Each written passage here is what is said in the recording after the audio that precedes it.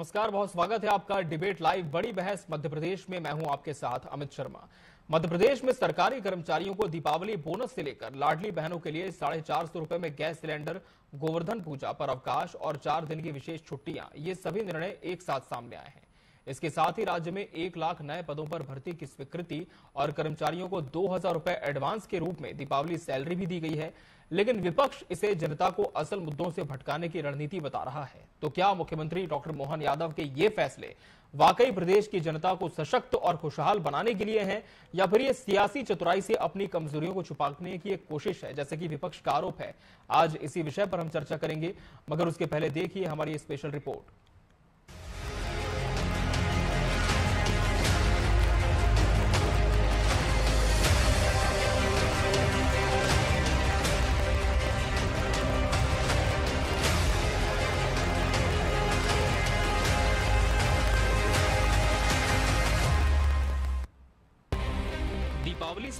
मध्य प्रदेश के मुख्यमंत्री डॉक्टर मोहन यादव ने सरकारी कर्मचारियों के लिए एडवांस सैलरी की घोषणा की। लाडली बहनों के गैस सिलेंडर पर बड़ी सब्सिडी के ऐलान के साथ गोवर्धन पूजा का अवकाश, चार दिन की छुट्टियाँ और एक लाख नए पदों पर भर्ती की स्वीकृति दी है। मुख्यमंत्री डॉक्टर मोहन यादव ने मीडिया से चर्चा में कहा।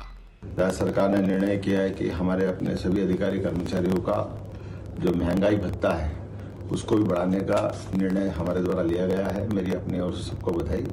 खासकर इसकी बधाई डबल तब हो जाती है जब दीपावली भी है और इस अवसर पर मध्य प्रदेश की स्थापना दिवस का कार्यक्रम भी है। एक नवंबर मध्य प्रदेश के गठन की पहली तारीख जो उन्नीस सौ छप्पन में एक नए प्रदेश का आकार साकार लेकर के आई, जिसके मध्य हम सब अपने अपनी दिनचर्या चलाते हुए देश की सेवा, मध्य प्रदेश की सेवा समान रूप से आगे बढ़ती जाए इस भाव के आधार पर काम करते रहते हैं।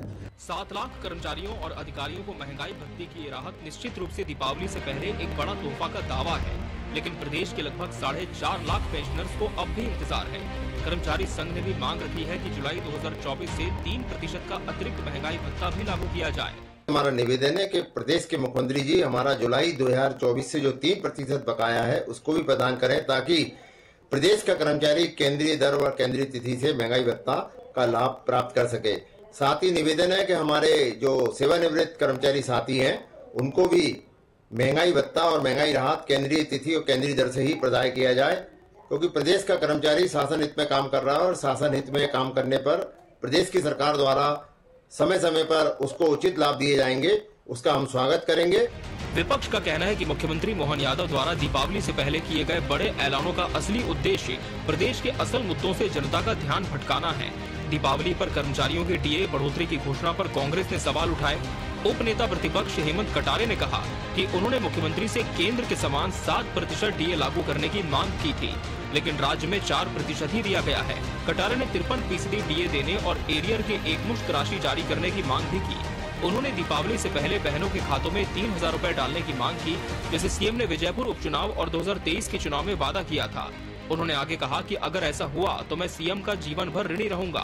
त्योहार पर बहनों को कुछ मीठा भी खिलाइए, और मिठाई के साथ साथ मेरी तो मांग है कि जैसी आपने घोषणा निरंतर करी, अभी आपने विजयपुर चुनाव में भी कहा, उसके पहले भी कहा, तीन हज़ार रूपए इन बहनों को यदि दीपावली के पहले मिलता है तो मैं आपके लिए जीवन भर ऋणी रहूँगा और ये सारी बहनें भी आपके जो है, आपके लिए धन्यवाद देंगी कि उनकी दीपावली बड़े अच्छे से मनी।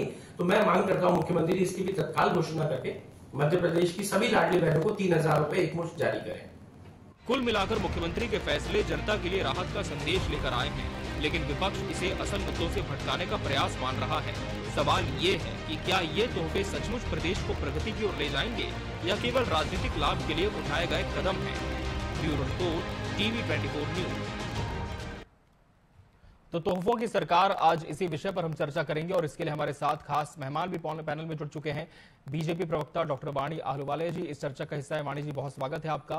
कांग्रेस प्रवक्ता जितेंद्र मिश्रा जी, प्रतिपक्ष का पक्ष रखेंगे। जितेंद्र जी, आपका भी बहुत बहुत स्वागत है। राजनीतिक विश्लेषक डॉक्टर भूपेंद्र सुलेरे जी भी इस चर्चा का अहम हिस्सा है। डॉक्टर भूपेंद्र सुलेरे जी, आपका भी बहुत बहुत स्वागत है। वाणी जी, जिस तरह से लगातार हमने देखा है कि कई घोषणाएँ एक झड़ी में की गई है, लेकिन विपक्ष का कहना यह है कि पहले से जो घोषणाएँ की गई थी, उन्हें आप पूरा नहीं करते और इन घोषणाओं के माध्यम से आप जनता का ध्यान भटकाने की कोशिश में हैं। सबसे पहले तो आपके दर्शकों को मैं नमस्कार करूँगी और जो आगामी हमारा पर्व है, दीपावली का दीपोत्सव है, उसके लिए अनंत शुभकामनाएँ देती हूँ और देश और इस प्रदेश की प्रगति के लिए कामना करती हूँ। जी आपको मैम। और साथ ही मेरे साथ जो आप लोग सब जुड़े हुए हैं इस वार्तालाप में आप सबको भी मैं प्रणाम करती हूँ। जी नमस्कार। निश्चित रूप से कांग्रेस को तो लगेगा ही कि मैं एक वक्ता के नाते सरकार भाजपा की होने के नाते ध्यान दूसरी तरफ़ लेके जाना चाह रही हूँ। तो ध्यान कहाँ से मैं हटाना चाह रही हूँ? मुझे लगता है कांग्रेस की नाकामी उनके शब्दों में झलक रही है क्योंकि अभी जो विरोध हम देख रहे हैं कांग्रेस के अंदरूनी खेमे में हो रहा है इनकी कार्यकारिणी जो घोषित हुई है उसी को लेकर इनको डर है कि कहीं ना कहीं उस कार्यकारिणी पर चर्चाएँ और प्रबल रूप से ना होनी शुरू हो जाए नाकामी और असफलता के जो इनकी बुलंद तस्वीर है जी। उसके ऊपर ना चर्चा होनी शुरू हो जाए इसीलिए ऐसे वक्तव्य ये देते हैं और इसीलिए ऐसे चर्चाएँ करने की चेष्टा करते हैं। परंतु ये डबल इंजन की सरकार है। जी। ये माननीय नरेंद्र मोदी जी के मार्गदर्शन में यशस्वी मुख्यमंत्री मोहन यादव जी की सरकार है और निरंतर जन कल्याण जन सेवा प्रदेश के हित और प्रदेश के एक अच्छे भविष्य के लिए जो। नीति रीति रखनी चाहिए और जो उनको समन्वय बिठाना चाहिए एक ऐसी सरकार है जो निरंतर नवाचार करते हुए आगे बढ़ती जा रही है और निश्चित रूप से मध्य प्रदेश का भविष्य एक औद्योगिक राज्य एक विकासशील राज्य के रूप में देखने को हमें मिलेगा। आने वाले दिनों में हम भूल जाते हैं कांग्रेसी होते हुए कि कहा एक बंटाधार राज्य का रूप था कांग्रेस के शासन में जो दिग्विजय सिंह और कमलनाथ जैसे नेताओं के नेतृत्व में हुआ करता था वहाँ से हम बहुत लंबा सफ़र तय करके यहाँ तक पहुँचे हैं और अभी भी जो विकास और राष्ट्रवाद की नीतियों के अंतर्गत हमने आगे बढ़ना है सफ़र अभी बाकी है। सफ़र अभी बाकी है, जितेंद्र जी, लेकिन ये जो पूरी घोषणाएँ हुई हैं, क्या इनका स्वागत नहीं करता विपक्ष? क्या मांगे हैं और क्या इसमें जोड़ा जाना चाहिए था? जी, जितेंद्र जी, सुन पा रहे हैं आप मुझे? जितेंद्र जी, आपको मेरी आवाज़ मिल पा रही है? चलिए, जितेंद्र जी से हम फिर से संपर्क करने की कोशिश करेंगे। डॉक्टर भूपेंद्र सुलेरे जी। जी जी, जितेंद्र जी, सुन पा रहे हैं आप मुझे आप? चलिए फिर से जुड़ते हैं इनसे। भूपेंद्र सुलेरे जी जैसा कि सत्ता पक्ष लगातार कह रहे हैं कि बहुत लंबित घोषणाएँ भी थी इन्हें अब पूरा कर लिया गया लेकिन कांग्रेस अपनी नाकामी को छुपाने की कोशिश कर रही है और इसी वजह से इस तरह के वक्तव्य दे रही है। लेकिन बड़ा सवाल यह है भूपेंद्र जी की जो घोषणाएँ की गई है धरातल पर कितना सकारात्मक प्रभाव इसका आप देख पाते हैं और क्या सब कुछ आज सरकार ने दे दिया है या फिर पाले में अभी और भी गेंद बाकी है? देखिए क्या है सरकार के लिए कर्मचारी बहुत महत्वपूर्ण है। जी। और उसके बाद प्रजा है सर- देखिए सरकार को बनाने में कर्मचारी की बड़ी भूमिका होती है।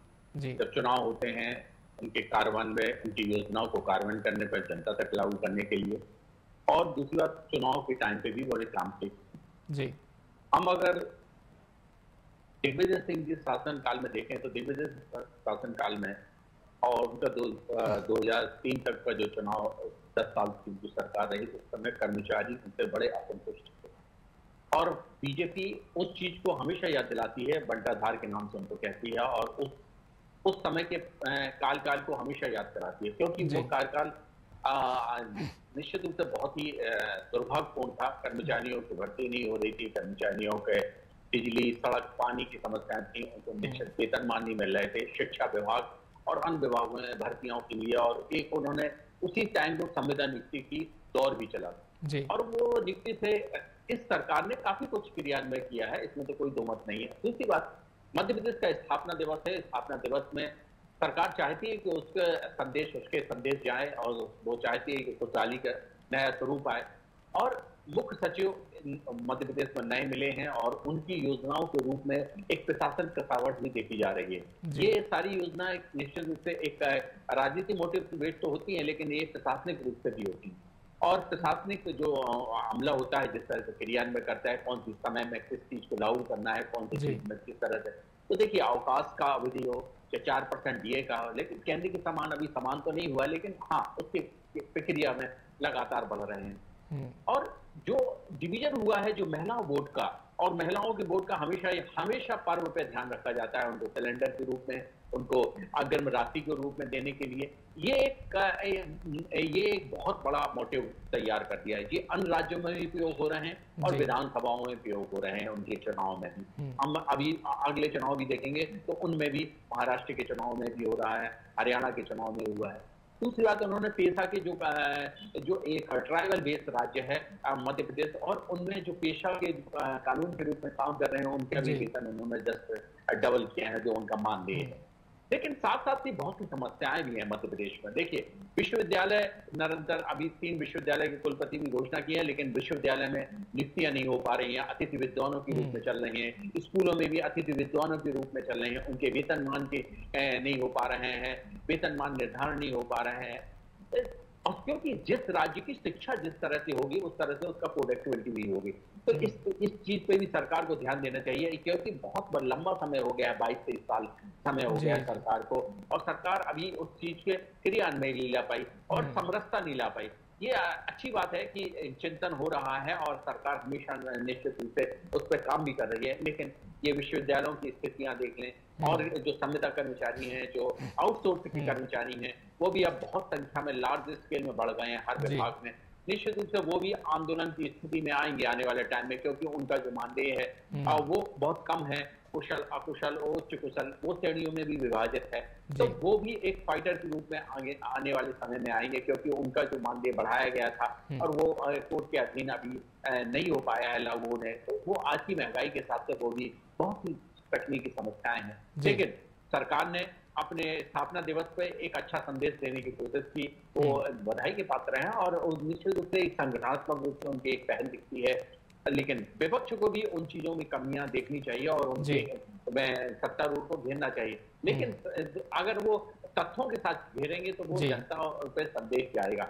लेकिन एक धरातली रूप में हम्म। एक मुख्यमंत्री के लिए एक चैलेंज है और सनातन की पद्धति को बढ़ाना ये भी अच्छा है क्योंकि मैं बिल्कुल रूप से क्योंकि सरकार सनातन चीज़ को बढ़ाए और बिल्कुल और विपक्ष लगातार तो सरकार को घेर भी रहा है इन घोषणाओं के बाद लेकिन जितेंद्र जी इन घोषणाओं में क्या कमी आप देख पाते हैं? सुन पा रहे जितेंद्र जी? चलिए इनसे हम लगातार संपर्क करने की कोशिश कर रहे हैं। वाणी जी जैसा कि डॉक्टर भूपेंद्र सुलेरिया ने कहा कि कहीं ना कहीं बहुत सारी चीज़ें तो की गई हैं लेकिन विपक्ष लगातार जैसे कि सवाल उठा रहा है तथ्यों के साथ अगर वो उठाए सवाल तो इसका जवाब भी सरकार को देना होगा। लेकिन क्या आप मानते हैं कि अभी भी प्रदेश के लगभग साढ़े चार लाख ऐसे पेंशनर हैं जिनको अपनी बारी का इंतज़ार है? नहीं देखिए खाली पेंशनर की बात नहीं है। जी। सात प्रतिशत महँगाई बढ़ता दे है। हज़ारों करोड़ रुपए का हर पंद्रह दिन में सरकार कर्ज ले रही है। आलिशान बंगलों का निर्माण हो रहा है। जी। बड़े बड़े हवाई जहाज़ खरीदने के लिए टेंडर बुलाए जा रहे हैं। हम्म। लेकिन कर्मचारी को जी। पूरा नहीं दिया गया डीए हरदम पीछे रहा कर्मचारी। आज अगर उसको सात प्रतिशत भत्ता महँगाई भत्ता देने की बात आई तो उसमें भी चार प्रतिशत दिया गया। उसमें भी डीए का जो एरियर है वो कब दिया जाएगा इसकी बात नहीं की जा रही। हम्म। देखिए किसी भी तरीके से ये चुनाव को लेकर के घोषणा है। जी। जब जब चुनाव आते जब जब जिला बनाने की घोषणा करते हम्म। जब जब चुनाव आते जब जब ये इस तरह के जुमले मुख्यमंत्री परोस देते मध्य प्रदेश में। देखिए सिलेंडर की बात सस्ती गैस की बात तो। शिवराज सिंह चौहान के जमाने से हो रही है आप देख रहे महँगाई कम करने का वादा किया था। आज सत्ताईस सौ रूपए क्विंटल गेहूँ और इकतीस सौ रूपए क्विंटल धान की मांग जब इस प्रदेश में किसान कर रहा है। मुद्दों की बात आप एक शोषण लेकर के दिया मुझे ये बताइए क्यों नहीं दिया जा रहा है? तीन हज़ार रूपए महिलाओं को दीपावली देने की हम्म। बात हुई थी। हम्म। जी। वो सब पूरा करने की बात नहीं कर रहे हम्म। नई नई घोषणाएँ कर रहे हैं सिर्फ़ इसलिए कि लोग बाय बाय करने लगे इस सरकार की। हम्म। लेकिन हम तो इस सरकार के कामों की समीक्षा करेंगे और ये देख रहे हैं हाँ। कि न कर्मचारियों की मांगे पूरी हो रही है हम्म। न किसानों की मांगे पूरी हो रही है। सिर्फ़ सरकार अपनी बाई बाई करने के चक्कर में हज़ारों करोड़ रुपए का कर्ज मध्य प्रदेश में हर महीने लेती जा रही है। इसके परिणाम अच्छे नहीं होंगे। मध्य प्रदेश कर्ज में डूब रहा है। इसके लिए सरकार को ध्यान देना चाहिए। कम से कम इस पैसे से एक उपयोग तो हो। सात प्रतिशत महँगाई भत्ता कर्मचारियों को मिले। पेंशनर जो रह गया है उस पेंशनर को भी महँगाई भत्ते की किस्त न मिले। क्यों न मिले उसको? वो भी तो इस मध्य प्रदेश का निवासी है। इस महँगाई में जीवन यापन कर रहा है। आऊँगा जी आपसे जवाब ज़रूर लूँगा मैं इस पर। जी। जी जितेंद्र जी। मेरा वही कहना है जी। कि पेंशनर क्या मध्य प्रदेश का नागरिक नहीं है। ठीक है। पेंशनर्स भी निश्चित तौर पर नागरिक लाडली बहनाएँ तो हैं लेकिन वाणी जी विपक्ष ने एक बार फिर से कहा है कि आपने तो चुनाव के समय कहा था कि एक मुश्त तीन हज़ार रुपए हर माह लाडली बहनों के खातों में देंगे। और जो घोषणाएँ आपने की है केवल कर्ज लेकर घी पीने का काम सरकार कर रही विपक्ष ने यह भी कहा है कि सिर्फ़ चुनावी घोषणा है जी वाणी जी जी। जी मैं पूछना चाहती हूँ कांग्रेस प्रवक्ता से कि इनके कांग्रेस शासित प्रदेशों में इन्होंने क्या घोषणाएँ की हैं दो दिन पहले? कि जो नौकरियों पे जिन पदों पर जो रिक्त हैं जिन पर कोई स्थापित नहीं है वो उनको कैंसिल कर दिया जाए वो वो उन पदों पर कई जगह पर तो इनके पास पेंशनर्स को पैसे नहीं देने के लिए उचित राशि बची है। तो हम्म। मैं ये सवाल कांग्रेस प्रवक्ता से करना चाहती हूँ कि क्या देश के हर कोने में इनकी रीति नीति बदल जाती है क्या इनके वक्तव्य बदल जाते हैं? ये मेरे को ये जवाब दे इस मंच पर कि कांग्रेस के बाकी के शासित प्रदेशों में वो क्या रीति नीति अपना रहे वहाँ पर तो कर्ज में डूबी हुई सरकार के बदहाल है। उनका तो डेट जीडीपी रेशियो बहुत बुरी स्थिति में है। और मुझे लगता है वहाँ प्रदेशों में आलोचना भी हो रही है कि हम्म। इनकी अर्थव्यवस्था कितनी असंतुलित है। ये भाजपा के शासन में होने वाले विकास कार्यों को हम्म। सराहा तो सकते नहीं है परंतु ये कोई अच्छे सुझाव भी देने के लिए नाकाम है। जी। वाणी जी वो तो ये कह रहे हैं कि आप केवल बड़ी घोषणाएँ कर रहे हैं इसके इतर की आप कर्ज लेंगे प्रदेश को और बोझ में ला देंगे और फिर इन घोषणाओं को पूरा करेंगे। प्लीज़ दोबारा बोले। वाणी जी जितेंद्र जी का कहना यह है कि सरकार सिर्फ़ अपनी वाहवाही के लिए इस तरह की चुनावी घोषणाएँ कर रही है और कर्ज लेकर इन घोषणाओं को पूरा किया जाएगा। जी। कर्ज लेकर देखिए ये प्रदेश इतनी बदहाली में था वहाँ से हम खुद जानते हैं सड़क बिजली पानी जो हम्म। एक मूल सुविधा मिलनी चाहिए नागरिक को हम कितने वर्षों तक कांग्रेस शासित जब समय था उस हम्म। शासन काल में हम कितने वंचित थे परंतु अब हम भी हम आगे बढ़ते हुए जिस रफ्तार और जिस गति और जिस दिशा में जा रहे हैं निश्चित रूप से एक समय सीमा आएगी जब हम इस स्थिति से भी निकलेंगे और सरकार निरंतर अपनी नीतियों के द्वारा ऐसे ही वातावरण का निर्माण करना चाह रही है जिस पर ये आत्मनिर्भर प्रदेश हो।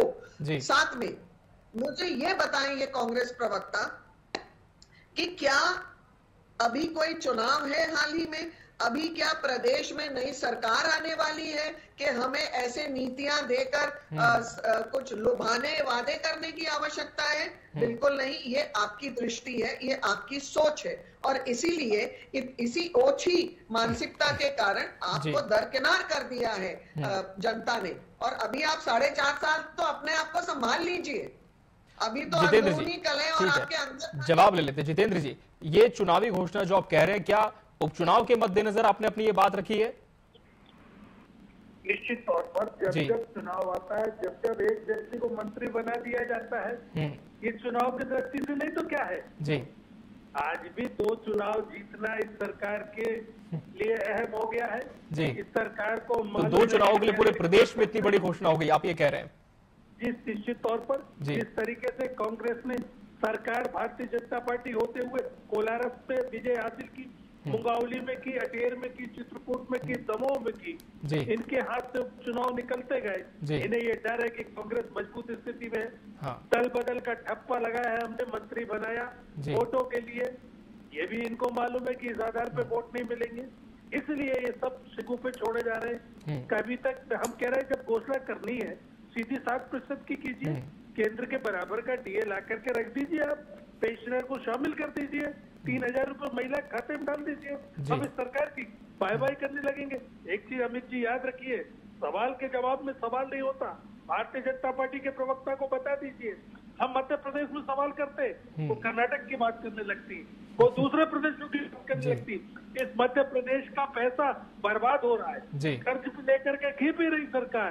करोड़ों रुपए आलिशान बंगलों में खर्च हो रहे हैं। इसका सवाल उठाएँगे तो दूसरे प्रदेश की बात न करें सवाल का जवाब दें। चलिए तो सवाल के जवाब में सवाल तो लगभग हर डिबेट में होता है और दोनों ही दल के प्रवक्ता ऐसा करने से गुरेज नहीं करते लेकिन भूपेंद्र जी बड़ा सवाल यह है कि क्या ये जो घोषणा है सीधे तौर पर क्या उपचुनाव पर भी असर डाल सकती है और इसका क्या पॉलिटिकल माइलेज लेने की कोशिश है जैसे कि विपक्ष आरोप लगा रहा है? देखिए राजनीति तो होती है हर चीज़ में लेकिन विकास भी एक मुद्दा होता है और विकास के रूप में देखिए हर चीज़ की एक टाइमिंग होती है। हम्म। जी। में एक विधायक को मंत्री बनाया गया चुनाव आऊँगा जितेंद्र जी आपका मैं फिर से रुक करूँगा। जी भूपेंद्र जी। भूपेंद्र जी आपकी बात जारी रखें जी। भूपेंद्र जी आप मुझे सुन पा रहे हैं डॉक्टर भूपेंद्र और जी जी। मेरी आवाज़ आ रही है ना? जी जी अब आपकी आवाज़ मिल रही है। जी। जी। तो इसके कारण एक मैसेज जाता है। और ये स्थापना दिवस तो उन्होंने खासतौर से दीपावली भी आ गई। और उसमें कर्मचारियों की सहभागिता भी आ गई अवकाश भी आ गया और उनको डीए भी मिल गया। डीए भी समानता अभी तीन परसेंट का गैप है लेकिन एक प्रक्रिया तो हुई। और साथ में अभी इससे बहुत सी चुनौतियाँ भी हैं।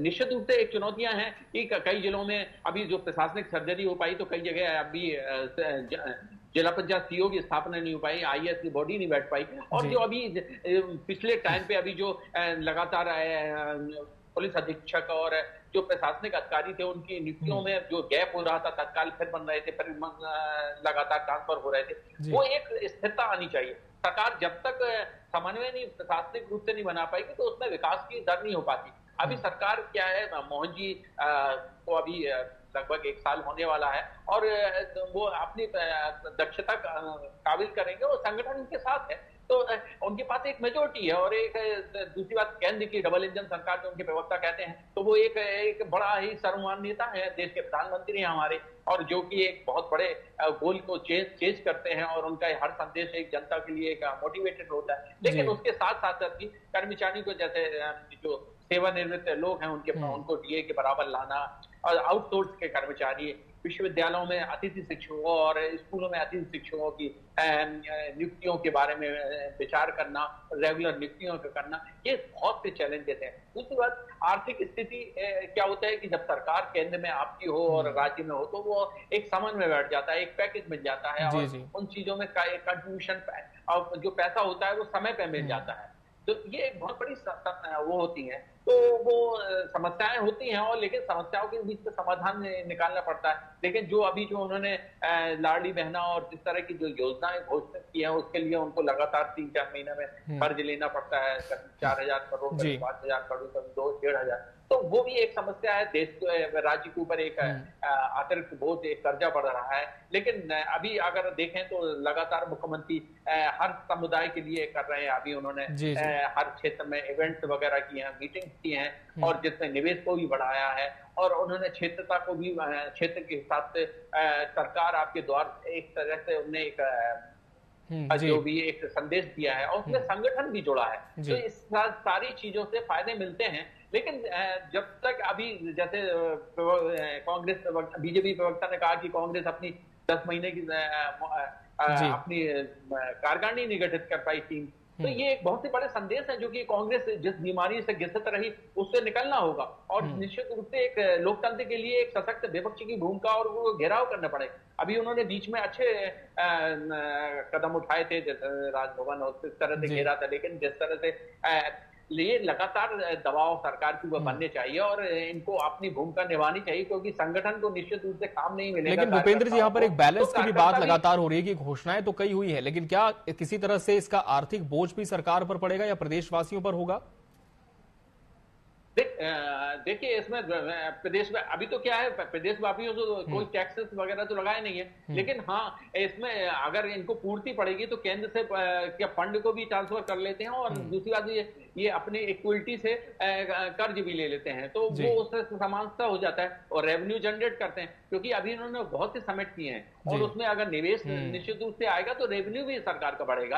अब वो तो क्या है परिणाम थोड़ा देर में आते हैं लेकिन ये पैसा तो तत्कालिक देना पड़ता है। दूसरी बात उन्होंने जो अभी वेतन जो इसी माह दे दिया है वो भी एक, एक बड़ा अच्छा कदम है और हर सरकार भी उठाती थी। लेकिन साथ साथ कांग्रेस को वो मैंने पहले भी कहा कि कांग्रेस के वो कार्यकाल को नहीं वो वो जनता के रूप में हम्म। मिटाना चाहते हैं कि वो जो कांग्रेस का कार्यकाल उस समय का था हम्म। तो वो हमेशा याद कराते हैं और बिल्कुल। वो उस समय और कहीं ना कहीं सरकार अपनी उपलब्धि भी लगातार बखान करती है लेकिन डॉक्टर वाणी आलूवाली जी क्या मानती है कि चुनौतियाँ भी कई होंगी इन घोषणाओं को पूरा करने में?